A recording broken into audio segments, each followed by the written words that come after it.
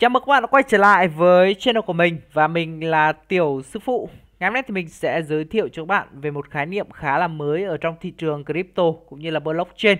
Và theo như mình nghĩ thì nó sẽ sắp tới thì nó sẽ uh, trở nên phổ biến và uh, sẽ uh, rất là nhiều những dự án về crypto áp dụng về cái hình thức này. Đó là cái khái niệm về freelance. Freelance có nghĩa là gì? Fair có nghĩa là công bằng và lăn tức là sự ra mắt. Fair lăn là sự ra mắt coi token của một dự án một cách công bằng nhất cho tất cả những nhà đầu tư và cộng đồng quan tâm đến dự án. Và cụ thể là đồng coi token đó phải là phi tập trung và được cộng đồng kiếm được này, sở hữu và quản lý ngay từ đầu. À, mọi người cộng đồng nhà đầu tư nhỏ lẻ và quỹ đầu tư lớn đều có thể tham gia hoàn toàn một cách bình đẳng nha các bạn và không có quyền truy cập sớm, khai thác trước hoặc phân bổ mã token À, nói cách khác là không có vòng seed round hoặc là private sale dành cho các quỹ đầu tư mua với số lượng lớn với giá rẻ nhé. Ok, ở đây thì mình sẽ giải thích một chút cho các bạn hiểu nhé. Thông thường thì uh, các cái dự án uh, kêu gọi vốn như là ICO, IDO, ENO thì uh, sẽ có các cái vòng bán token, tức là vòng thứ nhất là vòng uh, seed round này, vòng private này, vòng IDO, vòng IDO 1, vòng IDO 2 thì những cái mức giá ở các cái vòng nó sẽ là khác nhau và những cái tổ chức những cái quỹ đầu tư lớn ấy họ sẽ có cơ hội mua token với một mức giá rẻ hơn rất là nhiều so với những cái nhà đầu tư nhỏ lẻ, những cái cá nhân mà quan tâm đến dự án đấy. Ok, ở đây thì mình sẽ lấy ví dụ cho các bạn một số dự án. À, ví dụ như cái dự án à, uh, Make này, này thì nó có thông thường nó sẽ có một vài cái vòng như là community sale này. Ở cái vòng này thì à, mức giá bán một một đồng token của nó là 0.04 BUSD này. Đấy, phòng private thì nó sẽ rẻ hơn, một max nó sẽ chỉ là 0.03 BUSD. Đấy, public sale thì nó là một max nó có giá là 0.04 BUSD. Thì ở các cái vòng khác nhau ấy thì cái mức giá à, của cái đồng token cũng như là những cái đồng coin nó sẽ khác nhau. Và những cái quý đầu tư hoặc là những người những cái à, tổ chức lớn ấy thì họ sẽ có cơ hội mua trước. Và cái mức giá của họ mua rẻ hơn nhiều so với cái các nhà đầu tư à, nhỏ lẻ hoặc là những người quan tâm đến dự án. Đấy thì ví dụ thứ hai là một cái ví dụ về dự án Xpool này. Thì các bạn có thể thấy là à, ví dụ như cái dự án này thì nó bán à, hai vòng IDO tuy nhiên thì các bạn sẽ thấy được là cái à, mức giá chênh lệch giữa các cái vòng IDO nó khác nhau khá là nhiều. Ở cái vòng thứ nhất thì uh, cái token nó có mức giá là 0.02 và cái vòng IDO thứ hai uh, mức uh, giá của token các bạn có thể thấy là uh, nó cao hơn rất là nhiều. Đấy thì uh, cái việc mà uh, mua trước và mua mức giá khác nhau ở các cái vòng IDO hoặc là những cái vòng à, bán public sale, uh, private sale nó khác nhau thì nó sẽ tạo ra cái sự bất công dành cho những cái nhà đầu tư nhỏ lẻ hoặc là những cái người mà tiếp cận cái đồng coin đấy sau. Đấy thì ở đây thì các bạn sẽ thấy này, tại vì sao mà Fairland nó quan trọng đến như vậy? Thì nếu như các bạn ở trong cái thị trường này đủ lâu ấy thì các bạn sẽ à, không còn xa lạ gì đối với cái khái niệm xả token.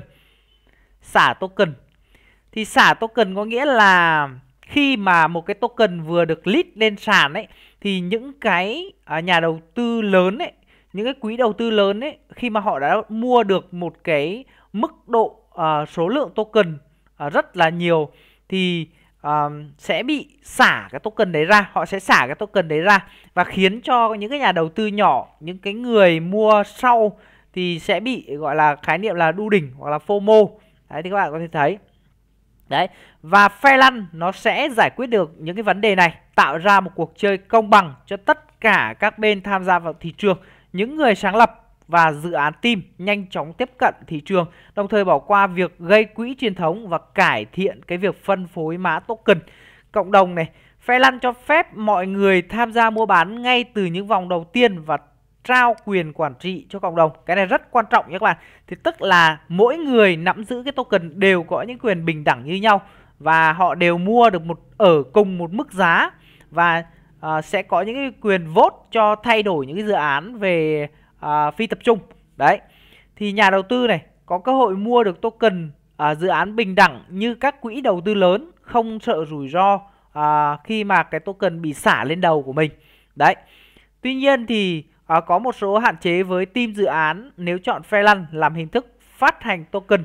Đó là khi không huy động được vốn từ những quỹ đầu tư mạo hiểm. Đấy thì dự án sẽ phải tự bỏ tiền ra audit sản phẩm của mình. Mà hiện tại thì à, cái việc mà à, thuê những cái dự án lớn những cái công ty lớn để có thể audit như là Citic hoặc là Quantstam thì à, sẽ có một cái mức chi phí rất là lớn. Thì đòi hỏi à, là cái việc à, bán token ấy thì à, phải thu lại được một cái số tiền lớn để à, à đội ngũ dự án có thể bỏ ra thuê những công ty lớn như thế này và có tên tuổi như thế này để có thể audit được dự án. Đấy thì giải pháp cho vấn đề này là Fairland Capital. Đây là một nhóm muốn trả tiền cho việc audit sản phẩm của các dự án trước khi ra mắt, sau đó thu lại khoản trợ của họ sau khi chương trình dự án launching và các dự án được tài à, được chọn để tài trợ à, sẽ là những cái dự án được vote từ cộng đồng à, điều dễ hiểu. Đấy thì à, chúng ta sẽ cùng tìm hiểu một vài những cái dự án nổi trội những cái token nổi trội à, của cái cái chương trình Fairland này nhá. Ok và đầu tiên là dự án Bitcoin. Thì đây là nghe thuật đầu nghe thì các bạn có thể ngạc nhiên. Tuy nhiên thì à, chính xác là Bitcoin là một cái đại diện của Fairland nha các bạn. Hình thức Fairland bởi vì các bạn cũng thấy là uh, Bitcoin không hề có một cái vòng uh, private sale nào cả không có vòng gọi vốn ICO và cũng không được đào trước uh, cho đến khi đồng coin này được launching.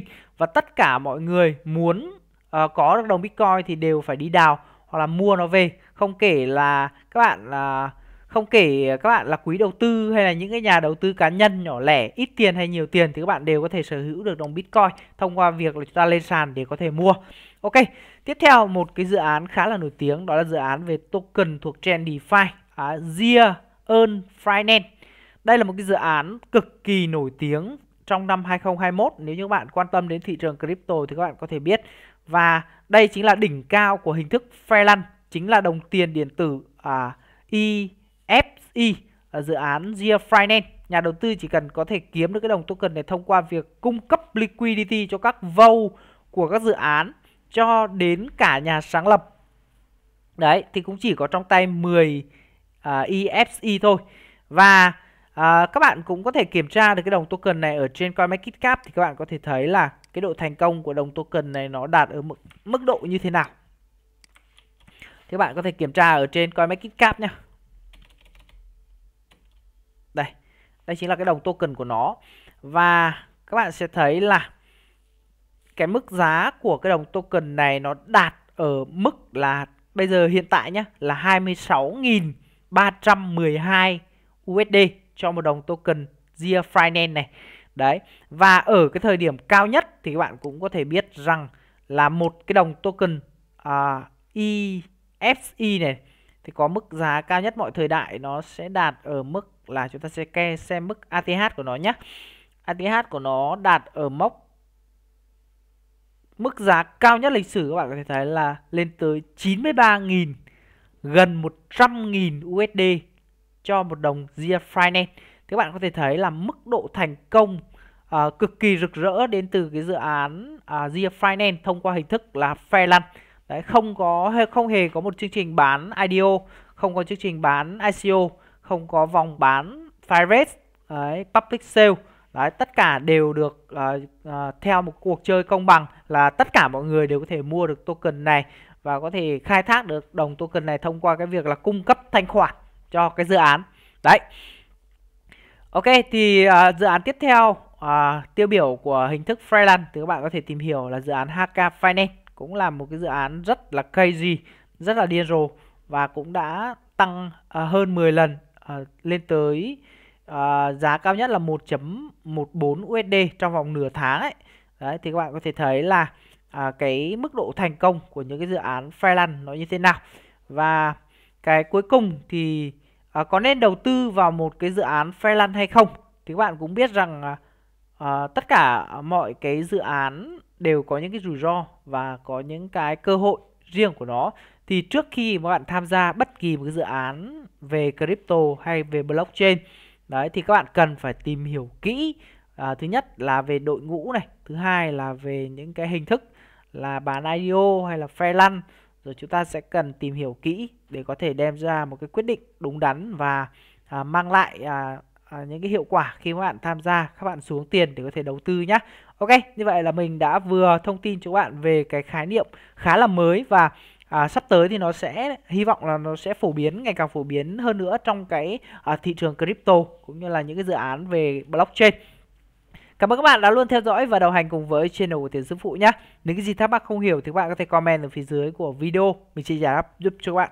Còn bây giờ, xin thân ái, chào và hẹn gặp lại.